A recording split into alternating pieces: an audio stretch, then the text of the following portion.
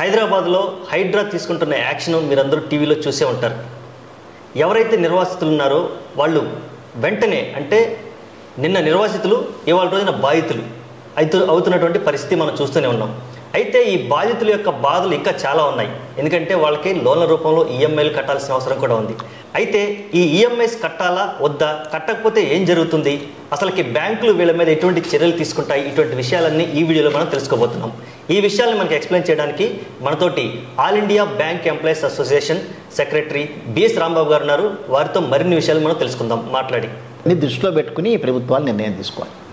Sir చాలా సందర్భాల్లో ప్రజలు లేదా బాధితులు తరపున హైకోర్టు అలాగే సుప్రీంకోర్టు కొన్ని కేసుల్ని సుమోటోగా తీసుకోవడం మనం చూస్తున్నాం ఇందులో సుమూటగా తీసుకుని తీసుకొని వాళ్ళు ఏమన్నా ఇనిషియేటివ్ తీసుకునే అవకాశం ఉందంటారు? తీసుకుంటే ఎలా ఉంటుంది అంటారు తప్పనిసరిగా తీసుకుని తీరుతారండి. ఇప్పుడు చెప్పాను కదా ప్రజాస్వామ్యంలో ప్రజల యొక్క ఇబ్బందుల్ని పరిగణనలోకి తీసుకోకుండా ఓన్లీ నేను ఇప్పుడు చట్టాలను ఏమి ఎందుకు అమెండ్ చేస్తారండి? అదే రకంగా చట్ట అసెంబ్లీలో ప్రజల యొక్క సమస్యలు చెప్తే డిస్కస్ చేసి వాటికి పరిష్కారం ఎట్టా కొని పెడతారు ఇప్పుడు అసెంబ్లీలో మార్నింగ్ జీరో అవర్ ఉంటుంది. జీరో అవర్ దేనికోసం? ఇట్లాంటి సమస్యలకి డిస్కస్ చేసి తక్షణమే ఒక పరిష్కారం కనుక్కుంటాను ఇప్పుడు ప్రజల కోసం ప్రజల సమస్యల్ని పరిష్కరించే ప్రభుత్వాలే ప్రజల యొక్క జీవితాలను ఛిద్రం చేస్తుంటే ప్రజలు ఎవరి దగ్గర పోవాలి ఎవరి దగ్గరికి పోయి మొరపెట్టుకోవాలి? సో న్యాయస్థానాలు తప్పనిసరిగా ఇంటర్ఫీర్ అవుతాయని నేను నమ్ముతున్నాను దీనిలో.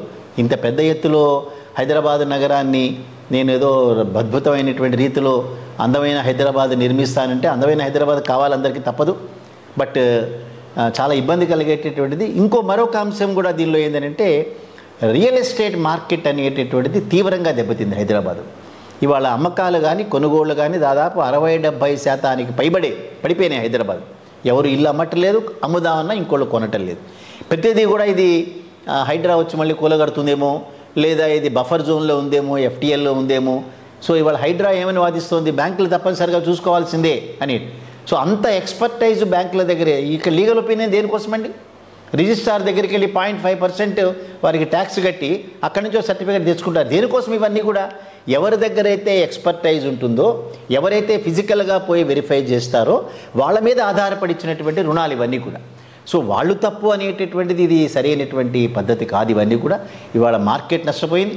సో ఈ పొదుపు చేసుకున్నటువంటి వ్యక్తులు కానీ బ్యాంకులు ఇచ్చినటువంటి రుణాలు తీసుకున్న వ్యక్తులు కానీ ఈ రాష్ట్రంలో కాకుండా పక్క రాష్ట్రాలకి వెళ్ళేటటువంటి ప్రమాదాలు అదే రకంగా వేరే రంగాన్ని ఎంచుకునేటటువంటి ప్రమాదాలు రియల్ ఎస్టేట్ రంగాన్ని పక్కన పెట్టి బ్యాంకింగ్లో డిపాజిట్లు చేసుకోవచ్చు లేకపోతే షేర్ మార్కెట్లో పెట్టచ్చు లేదా బంగారాన్ని కొనుక్కోవచ్చు ఏదో ఒక రూపంలో మళ్ళిస్తారు. అంతేకాని రియల్ రియల్ ఎస్టేట్లోకి వెళ్ళరు.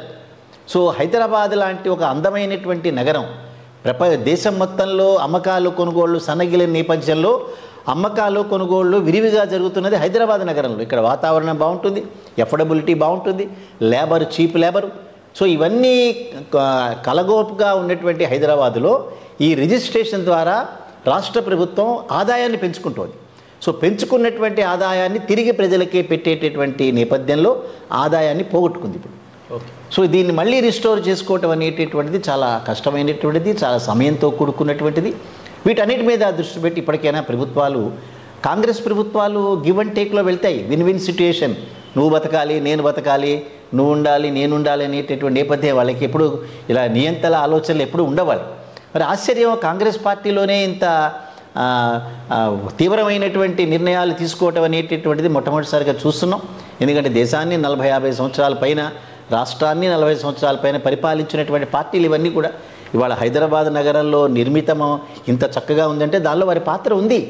సో అది హైదరాబాద్లో ఇంతమంది ప్రజలందరూ కూడా ఎక్కడెక్కడో వేరే రాష్ట్రాల నుంచి వచ్చి హైదరాబాద్లో నివాసం ఉంటున్నారంటే ఇది కాంగ్రెస్ పార్టీ యొక్క కాంట్రిబ్యూషన్ ఇవన్నీ కూడా. అదే కాంగ్రెస్ పార్టీ చివరికి ఈ రకమైనటువంటి పరిస్థితిని క్రియేట్ చేయటం అనేది ఇది మనం ఎవరు కూడా ఊహించినటువంటి ఇబ్బంది అంతా కూడా తప్పనిసరిగా నేషనల్ కాంగ్రెస్ పార్టీ రాష్ట్ర కాంగ్రెస్ పార్టీ చొరవ తీసుకోవాలి. ప్రజలకు కలు కలుగుతున్నటువంటి ఇబ్బందుల్ని ఒక సానుకూల దృక్పథంతో సానుభూతితో పరిశీలించి వేరే ఆల్టర్నేటివ్స్ వాళ్ళకి ఏర్- ఏర్పాటు చేసిన తర్వాత మాత్రమే ఈ కార్యక్రమాలు చేయాలి. సార్ చివరిగా ఒక్క ప్రశ్న. ఇప్పుడు ఉన్న పరిస్థితుల్లో ఎవరైనా ఒక స్థలం కొందామన్నా లేదా ఉన్న స్థలం నుంచి ఏమన్నా బ్యాంకులోనికి వెళ్ళాలనుకున్నా ఈ హైడ్రా నుంచి ఏమైనా ఎన్ఓసి లాంటివి ఏమైనా తీసుకోవాల్సిన అవసరం ఏమైనా ఉందంటారా? హైడ్రా అనేటటువంటి సంస్థ బ్యాంకులకి ఏ రకమైనటువంటి ఇన్స్ట్రక్షన్స్ కానీ ఏ రకమైనటువంటి సూచనలు కానీ చేయజాలదు. అదొక సంస్థ అంతే. ఇవన్నీ కూడా కేంద్ర ప్రభుత్వ అధీనంలోనూ కేంద్ర ప్రభుత్వ అధికారుల యొక్క డిపార్ట్మెంట్ ఆఫ్ ఫైనాన్షియల్ సర్వీసెస్ వారి అధికారంలోనూ రిజర్వ్ బ్యాంక్ ఆఫ్ ఇండియా నేపథ్యంలోనూ పనిచేసేటటువంటి బ్యాంకులు ఇవన్నీ కూడా. సో అందుచేత ఎవరికి లోన్ ఇవ్వాలి ఎవరికి ఇవ్వకూడదనే పర్ఫెక్ట్ గైడ్ లైన్స్ ఉన్నాయి. సో వాళ్ళనే మాట కరెక్టే కావచ్చు. మీరు ఈ రెండు లెక్కలోకి తీసుకోకుండా మీరు శాంక్షన్స్ శాంక్షన్స్ ఇచ్చిన వాళ్ళు తప్పు బ్యాంకులు ఇచ్చిన వాళ్ళు తప్పు అని వాళ్ళు చెప్పొచ్చు. రేపొద్దున ఇంకొకటి ఇంకో సంస్థ వచ్చి హైడ్రా తీసుకున్నటువంటి వాటికి ఇంకొన్ని జోడించి అవన్నీ చేయొచ్చు ఇవన్నీ చట్టరీత్యా వాళ్ళు కరెక్టే కావచ్చు. అందుకని రేపు నో అబ్జెక్షన్ సర్టిఫికేట్ వీళ్ళ దగ్గర నుంచే కాదు ఉన్నటువంటివే మరింతగా పరిశీలించి రుణాలు ఇవ్వాల్సినటువంటి అవసరం ఉంటుంది. అప్పుడు కొద్దిగా డిలేలు అవుతాయి లేదా కొన్ని రిజెక్షన్స్ అవుతాయి. సో వైడర్గా కనుక మనం కనుక చూస్తే ఇప్పుడు మనం ఒక పాలసీ తీసుకుంటాం ఒక ఇన్సూరెన్స్ పాలసీ. దాని వెనకాల చిన్న చిన్న అక్షరాలతో ఒక వంద నూట యాభై గైడ్లైన్స్ ఉంటాయి. ఎవరు చదువుతారు అవన్నీ కూడా?